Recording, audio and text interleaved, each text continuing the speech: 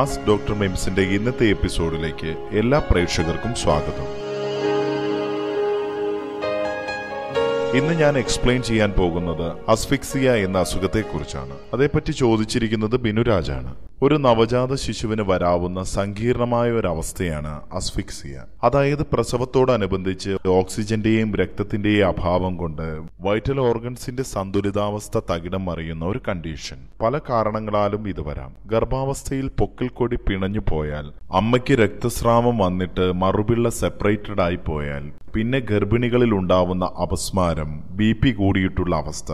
ഇതിനു കഴിക്കുന്ന മരുന്നുകൾ ഗർഭസ്ഥ ശിശുവിനെ ബാധിക്കുന്നത് ഇങ്ങനെയെല്ലാം അസ്ഫിക്സിയ സംഭവിക്കാം. ഗർഭപരിചരണം തന്നെയാണ് ഇത് തടയാനുള്ള പ്രധാന മാർഗം. മറ്റൊരു കാര്യം ശ്രദ്ധിക്കേണ്ടത് പ്രസവം എന്ന പ്രക്രിയ എവിടെ നിന്നായാലും കുഴപ്പമില്ല എന്ന ധാരണ മാറ്റണം. നല്ല സൗകര്യമുള്ള ആശുപത്രികൾ തന്നെ തിരഞ്ഞെടുക്കണം. പിന്നെ കൃത്യസമയത്തുള്ള സ്കാനിംഗ് ഡോക്ടറുടെ നിർദ്ദേശപ്രകാരം വേണ്ടതും വേണ്ടാത്തതുമായ കാര്യങ്ങൾ തിരിച്ചറിയുക. എന്നിവയിലൂടെ ഇത് നമുക്ക് ഒഴിവാക്കാനാകും. അസ്ഫിക്സയുള്ള കുഞ്ഞിന് പ്രസവിച്ച ഉടനെ ട്യൂബ് വഴി കൃത്രിമ ശ്വാസോച്ഛ്വാസം നൽകും. ഹൃദയം ഇടിക്കുന്നില്ലെങ്കിൽ കംപ്രഷൻസ് നൽകി ഹാർട്ട് റീസ്റ്റാർട്ട് ചെയ്തെടുത്ത് ഐ സിയുയിൽ എത്തിക്കും. പിന്നെ ഇപ്പോൾ പുതുതായി ചെയ്യുന്ന രീതിയാണ് ഹെഡ് കൂളിംഗ്. ഇതുവഴി തലച്ചോറിന്റെ താപം കുറയ്ക്കുകയാണ് ചെയ്യുന്നത്. മിനിമം നാലോ അഞ്ചോ ദിവസം ഇങ്ങനെ കൃത്രിമമായി ജീവൻ നിലനിർത്തിയാൽ മാത്രമേ ഇത്തരം കുട്ടികളിൽ അവരുടെ വൈറ്റൽ ഓർഗൻസിനെ തിരിച്ച് സന്തുലിതാവസ്ഥയിൽ എത്തിക്കാൻ സാധിക്കുകയുള്ളൂ. അതിനാൽ ഇതൊഴിവാക്കാനായി ഗർഭകാലത്ത് തീർച്ചയായും വേണ്ട മുൻകരുതലുകൾ സ്വീകരിക്കേണ്ടതാണ്.